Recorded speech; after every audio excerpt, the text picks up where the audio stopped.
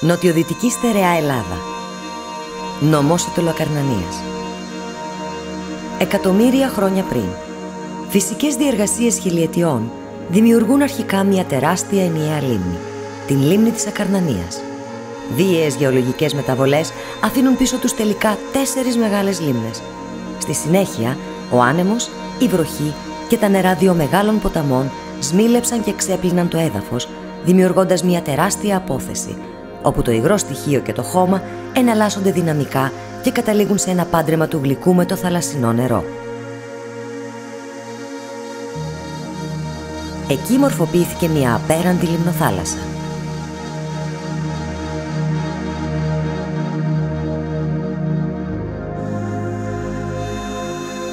Ένα ιδιαίτερο, συγκλονιστικό από κάθε άποψη τοπίο, στο οποίο άφησαν το αποτύπωμά τους θεοί, ημίθεοι, αρχαίοι, αλλά και σύγχρονοι ήρωες. Ένα από τα μεγαλύτερα υγροτοπικά εθνικά πάρκα της Ελλάδας. Η λιμνοθάλασσα Μεσολογγίου Ετολικού.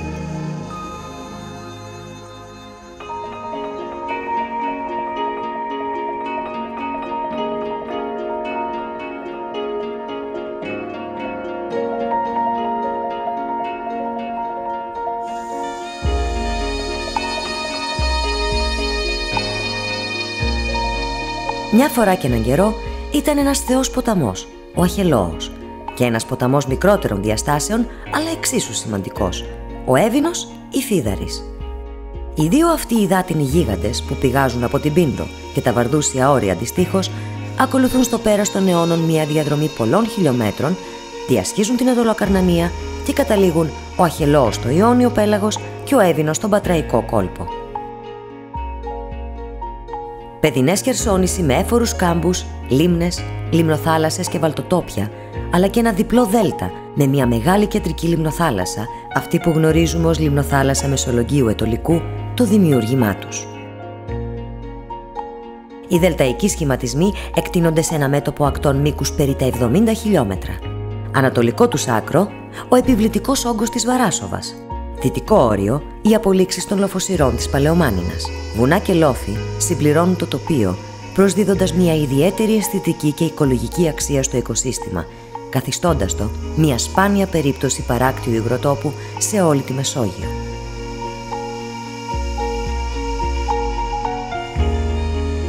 Τα φερτά υλικά των ποταμών δεν διαμόρφωσαν μόνο αισθητικά το τοπίο, αλλά του προσέδωσαν και χαρακτηριστικά μιας ιδιαίτερα έφορης και παραγωγικής περιοχής.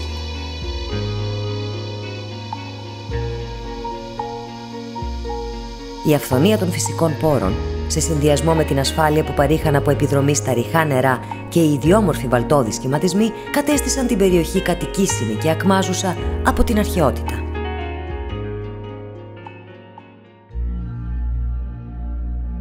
Τα αρχαιολογικά ευρήματα στην ευρύτερη περιοχή μαρτυρούν την ύπαρξη τουλάχιστον τριών σημαντικών αρχαίων πόλεων. Καλιδόνα, Πλευρώνα, Ινιάδες.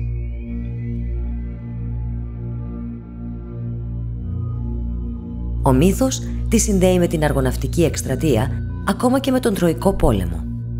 Εδώ, κατά τη μυθολογία, ο Ηρακλής πάλεψε με το θεό ποταμό Αχελώο και τον δάμασε, προσφέροντας ευμάρεια στην περιοχή. Η αρχαιολογική έρευνα όμως ανέδειξε και μνημεία της παλαιοχριστιανικής και της βυζαντινής περίοδου, εκκλησιαστικά κέντρα, μοναστήρια, ναούς και διάσπαρτα ξοκλήσια. Γύρω από τη λιμνοθάλασσα του Μεσολογγίου ανεπτύχθη ένας πληθυσμός από την κλασική περίοδο, τη βυζαντινή περίοδο και μετέπειτα τους νεότερους χρόνους. Ανεπτύχθησαν πάρα πολλά μοναστήρια, πρώτο χριστιανικά, επίσης ε, σπηλαιώδεις ναοί, ναοί οι οποίοι βρίσκονται περιμετρικά στη θάλασσα και άλλοι μέσα στη λιμνοθάλασσα. Οι τόποι λατρείας, παλιοί και σύγχρονοι, συνδέονται πολύ έντονα με την ιστορία κατά την περίοδο της τουρκοκρατίας, άλλοτε ως ορμητήρια και άλλοτε ως καταφύγια. Χαρακτηριστικό παράδειγμα η Βαράσοβα, όπου συναντά κανείς πλήθος ασκηταριών. Η Λιμνοθάλασσα έπαιξε το ρόλο της και στην Επανάσταση του 1821, συνδέοντας τον τόπο με ηρωικές πράξεις. Η αντίσταση και η έξοδος του Μεσολογγίου το 1826 συνδέουν την περιοχή με ένα από τα ηρωικότερα κεφάλαια της Επανάστασης Κοιτώντας το χαμηλό τοίχο που συνιστούσε την μοναδική τεχνητή οχύρωση της πόλης, το αλωνάκι, όπως το αναφέρει ο Διονύσιος Σολομός στους ελεύθερους πολιορκημένους, συνειδητοποιείς ότι η ουσιαστικότερη οχύρωση ήταν η ίδια η λιμνοθάλασσα και η βάλτη που την περιέβαλαν. Μέγα σταθμός της εθνικής μας αλλά και της παγκόσμιας ιστορίας, η πολιορκία του Μεσολογγίου. Εδώ το ιδανικό της ελευθερίας σφραγίστηκε και με τη θυσία πολυάριθμων φιλελλήνων όπως ο Μπάιρον.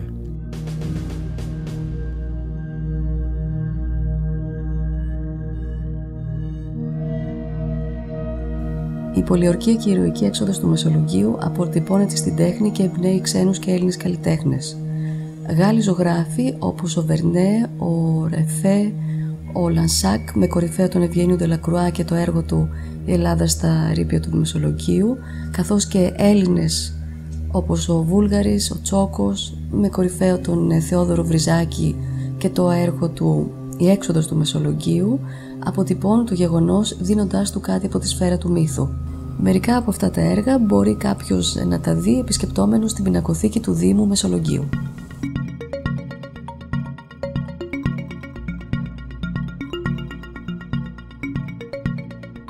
Πασίγνωστη η περιοχή για την ιστορία της. Πολύ λιγότερο γνωστή για τη φύση της. Μία φύση που δικαίως προστατεύεται από σημαντικές διεθνείς συνθήκες και που οριοθετήθηκε με ειδικό νόμο ώστε να αποτελέσει ένα από τα σημαντικότερα εθνικά πάρκα της χώρας μας. Στο σύνολό του, το Εθνικό Πάρκο Λιμνοθάλασσας Μεσολογγίου Ετολικού είναι ιδιαίτερα γνωστό για τη σπουδαιότητά του ως ηχθειοπαραγωγικός χώρος, αλλά και ως χώρος φιλοξενίας μιας μεγάλης ποικιλίας πουλιών.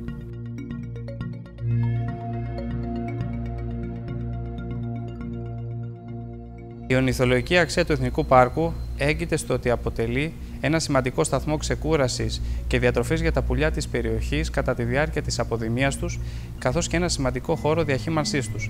Επίσης, είναι ένας σημαντικός χώρος αναπαραγωγής για πολλά υδρόβια και επαριδάτια πουλιά, σπάνια επιλούμενα σε ευρωπαϊκό ή παγκόσμιο επίπεδο. Οι αριθμοί είναι χαρακτηριστικοί. Οι διαχυμάζοντες πληθυσμοί παπιών κυμαίνονται μεταξύ 25 και 30.000 άτομα. Άλλες τόσες είναι και οι φαλαρίδες, που κάποιες χρονιές ξεπερνούν τις 30.000, δηλαδή το 1% του ευρύτερου ποντοευρωπαϊκού πληθυσμού. Κάτι που αποτελεί και κριτήριο ένταξης της περιοχής στις σημαντικές για τα πουλιά περιοχές της Ευρωπαϊκής Ένωσης.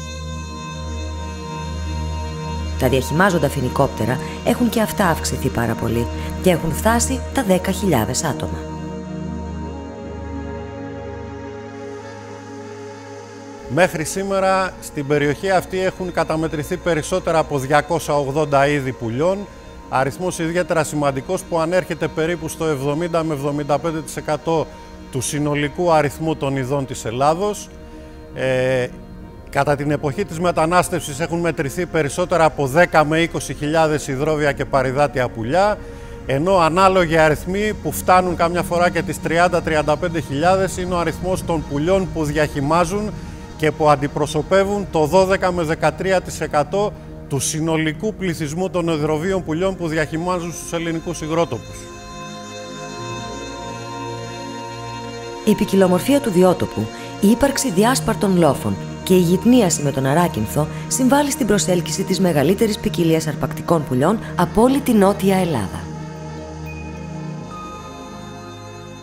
Αυτοί οι λόγοι και άλλοι οδήγησαν στην ένταξη των υγροτόπων της περιοχής στο καθεστώς Διεθνούς Σύμβασης Ραμσάρ που αφορά στη διατήρηση των υγροτόπων διεθνούς σημασίας, ιδιαίτερα δε ως χώρων διατήρησης των υδροβίων και παρυδατίων πουλιών.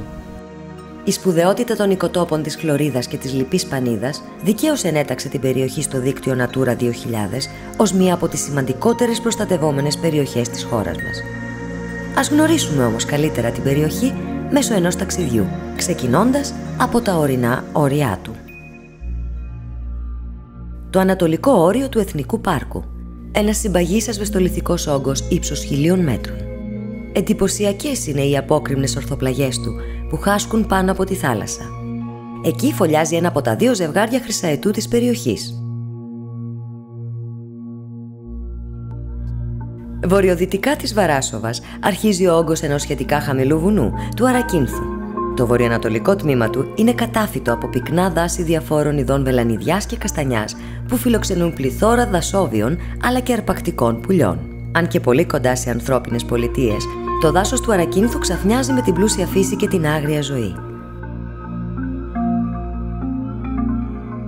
Στα βόρεια, ο ορεινός όγκος διακόπτεται από το μεγάλο φαράγγι της κρεμαστής η Παλιαρόλακα και από το επιβλητικό φαράγγι της Κλεισούρας.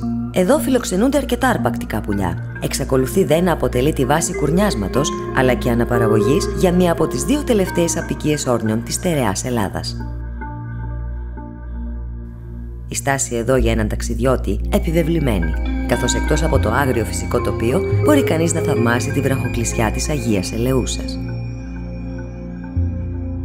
Τι να πρωτοπεί κανείς για τον δεύτερο μεγαλύτερο ποταμό εντός Ελλάδος. Στο διάβα των 220 χιλιόμετρων από τις πηγές του έως τις εκβολές του, σφίζει από ζωή. Διόλου τυχαίο ότι είχε θεοποιηθεί κατά την αρχαιότητα.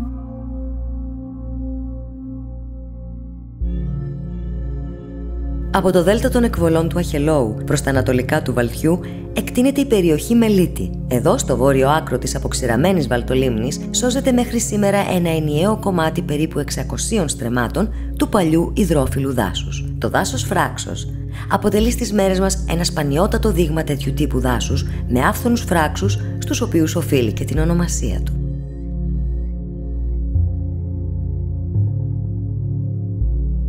15 διάσπαρτες νησίδες, σύμφωνα με το μύθο νύμφες, τις οποίες ο θεός Αχελός μεταμόρφωσε σε νησιά. Οι εχινάδες αποτελούν μέρος του Εθνικού Πάρκου Λιμνοθάλασσας Μεσολογγίου Ετολικού, ένα σημαντικό κομμάτι του βιοτόπου της περιοχής.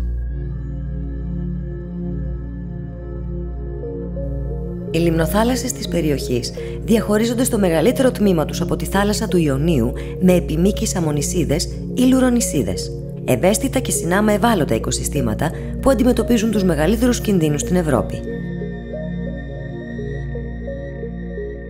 Συνιστούν ένα ιδιαίτερο περιβάλλον που υποστηρίζει την ευδοκίμηση χαρακτηριστικών αμόφυλων φυτών αλλά και καταφύγιο για φόλιασμα σε αρκετά παρυδάτια είδη πτηνών.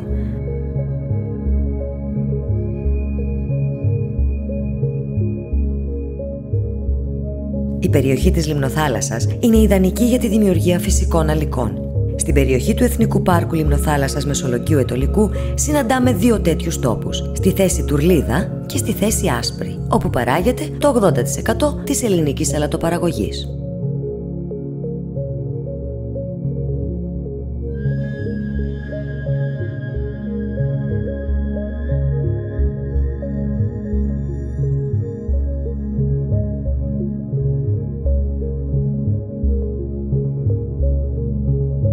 Εκτός όμως από τη σημαντική οικονομική και κοινωνική σημασία των αλικών, αυτές παίζουν σημαντικό ρόλο για την άγρια ζωή. Πλήθος πουλιών βρίσκουν εδώ ένα ήσυχο μέρος για την αναπαραγωγή τους και τροφή τον χειμώνα. Κυρίως αγριόπαπιες και βουτυχτάρια. Στα σπάνια και απειλούμενα είδη πουλιών που φιλοξενούν οι αλικές περιλαμβάνεται η αβοκέτα, έμβλημα των αλικών. Τέλος, στις αλικές μπορεί να θαυμάσει κανείς πολυάριθμας σμήνη από φινικόπτερα ή φλαμίγκο, πουλιά ανυπέρβλητης ομορφιάς.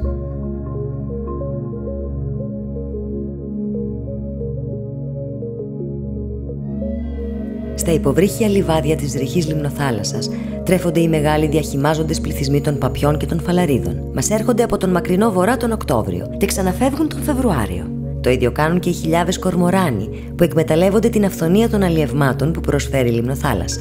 Κορμοράνοι και αργυροπελεκάνοι συνεργάζονται κάνοντας κλειούς και στριμώχνοντας τα ψάρια.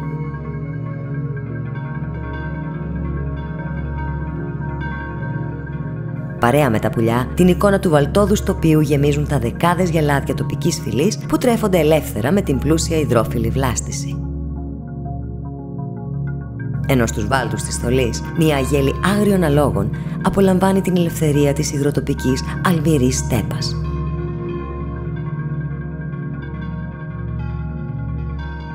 Η ζωή των κατοίκων της περιοχής είναι στενά συνδεδεμένη με τη λίμνο-θάλασσα. Τα αγαθά της αλάτι και ψάρι, βασικό πεδίο του καθημερινού μόχθου. Πελάδα, σκάπουλη, διβάρι, κάψος και πλήθος λέξεων αντικατοπτρίζουν και καθορίζουν έναν ολόκληρο κόσμο. Αυτό των ψαράδων της Λιμνοθάλασσας. Ξεκινάμε το πρωί στις 6 ώρα, πηγαίνουμε να λιέψουμε τα ευάρια, να τα καθαρίσουμε, τα ψάρια και αυτά. Θα φέρνουμε εδώ πέρα στην, ε, στη λότζα, στο διαλογέα, να τα καθαρίσουμε, να τα παγώσουμε, να τα, κόψουμε, ε, να τα κόψουμε τιμολόγιο όλα να φύγουν Τα παίρνουμε την ψαροπούλα και τα πάμε έξω στην τρουλίδα. Η παραδοσιακή γνώση της αλλιευτικής τέχνης και της συντήρησης των σκαφών μεταφέρεται μέσα στους αιώνες από πατέρα σε γιο. Είτε σε συνεταιρισμούς, είτε ελεύθεροι, σκάπουλοι, οι ψαράδες της λιμνοθάλασσας αποτελούν σήμα κατά τεθέν του τόπου. Τα ρηχά νερά δημιούργησαν την ανάγκη πλήστων τροποποίησεων στα αλλιευτικά σκάφη αλλά και στα παραδοσιακά αλλιευτικά εργαλεία. Έτσι, στα σκάφη αφαιρέθηκε η καρίνα που οδήγησε στο επίπεδο δάπεδο. Χαρακτηριστικές είναι και οι ψαροκαλύβες, πελάδες, κατά μεσής της λιμνοθάλασσας. Γνώρισμα της περιοχής και βασικό εργαλείο για το ψάρεμα η ηχθειοφραγμή με τους πασάλους και τα περίφημα διβάρια ή ιβάρια. Εδώ, σε αντίθεση με τα εντατικά ηχθειοτροφία, δεν παρέχεται τεχνητή τροφή. Ο πλούτος της λιμνοθάλασσας είναι υπεραρκετός ξεχωριστό προϊόν με κατοχυρωμένη την ονομασία προέλευσης και εξαγωγές σε πολλές χώρες, το αυγοτάραχο. Είναι γνωστό εδώ και αιώνες ότι η λιμνοθάλασσα Ετωλικού Μεσολογγίου έχει το καλύτερο αυγοτάραχο παγκοσμίως. Γι' αυτό και επιμένουμε να το παράγουμε εδώ, στον τόπο μας. Προέρχεται από τις γονάδες του θηλυκού κέφαλου, μπάφα. Μετά από επεξεργασία, το αυγοτάραχο εμβαπτίζεται για λόγους συντήρησης σε φυσικό κερί και σε αυτή τη μορφή διοχετεύεται στην αγορά.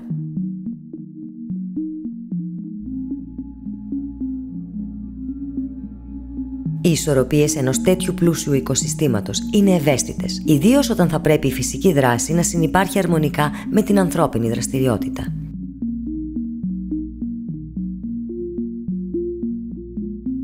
Φορέα Διαχείρισης Λιμναθάλασσα Μεσολογγίου ιδρύθηκε το 2003 και έχει σαν κύρια ευθύνη του τη διοίκηση και διαχείριση του Εθνικού Πάρκου Λιμναθάλασσα Μεσολογγίου Ιτωλικού, εκβολών Ευήνου και Χελώου και Εχινάδων Νήσων, Στις βασικές του αρμοδιότητες περιλαμβάνονται η περιβαλλοντική εκπαίδευση, η παροχή γνωμοδοτήσεων για μελέτες περιβαλλοντικών επιπτώσεων, η τεκμηρίωση και η έρευνα σχετικά με μελέτες που αφορούν τα προστατευτέα αντικείμενα.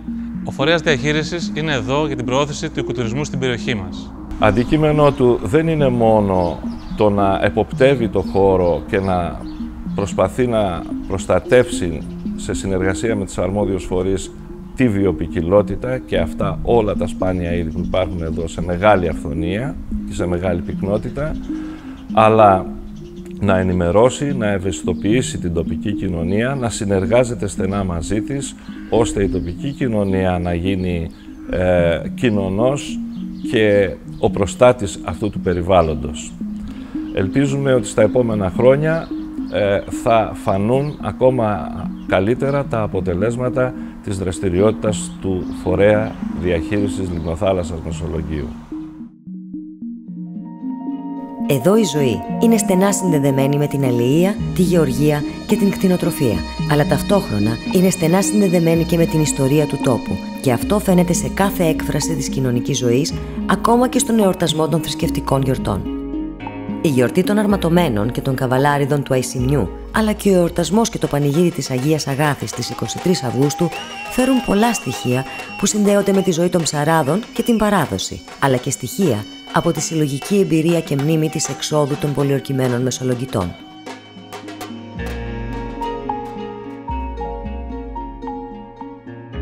Η ζωή στις δύο πόλεις που βρίσκονται εντός του Εθνικού Πάρκου, το Μεσολόγγι και το Ετολικό, κυλά σε σύγχρονους ρυθμούς, αλλά πάντοτε με σεβασμό στις παραδόσεις και στο φυσικό περιβάλλον.